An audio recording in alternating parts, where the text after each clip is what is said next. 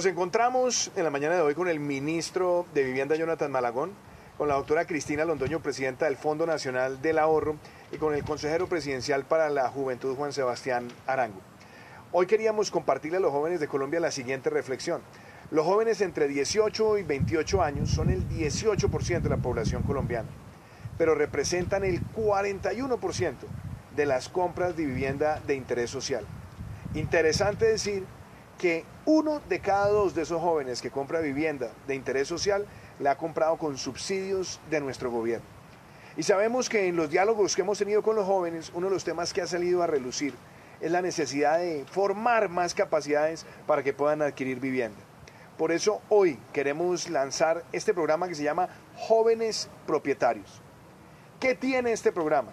En primer lugar, la tasa de interés más barata en la historia de Colombia para la adquisición de vivienda. Menos del 7% tasa fija. Segundo, financiar hasta el 90% del valor de la vivienda. Tercero, entra el Fondo Nacional de Garantías con una garantía del 70%. No se necesita fiador. Y algo también muy importante, le estamos permitiendo a los jóvenes cumplir el sueño de ser propietarios en nuestro país. Este es uno de los programas más importantes que podemos tener en este momento para la juventud, sobre todo estimulándolo para que sea una juventud propietaria. Así que con estas medidas no solamente apoyamos con todas las herramientas del Estado, sino que queremos que estos jóvenes entre 18 y 28 años sean quienes más dinamicen la vivienda de interés social en nuestro país. Prácticamente con estas medidas y sin contar con el subsidio concurrente, las cuotas que se pagarían por una vivienda a plazo fijo serían menos de 500 mil pesos. Así que, ministro Malagón, ¿qué significa eso para los jóvenes de Colombia?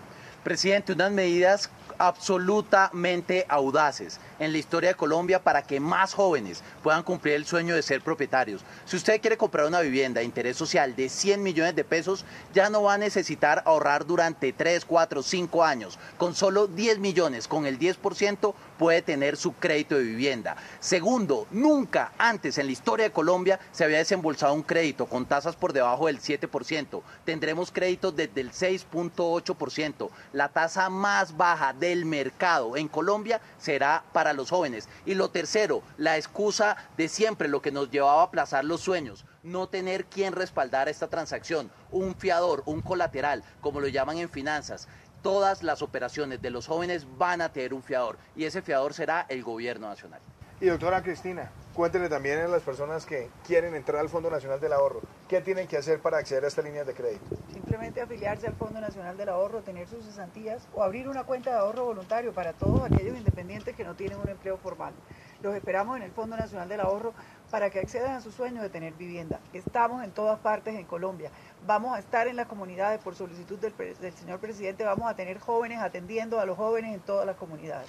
Los esperamos en el Fondo Nacional del Ahorro. Y Juan Sebastián, en estos diálogos que hemos tenido con jóvenes también en los territorios, más los que se desarrollaron también en la conversación nacional, ¿qué significa eso también en términos de oportunidades? Presidente, los jóvenes nos han dicho que ellos quieren tener posibilidades para ellos y sus familias es un tema muy importante y este programa que lanzamos hoy con usted y con el ministro nos permite que ellos puedan cumplir ese sueño que tienen. Esto es escuchando y haciendo, presidente. Muchísimas gracias, Juan Sebastián. Así que los invito a que conozcan más sobre este programa Jóvenes Propietarios.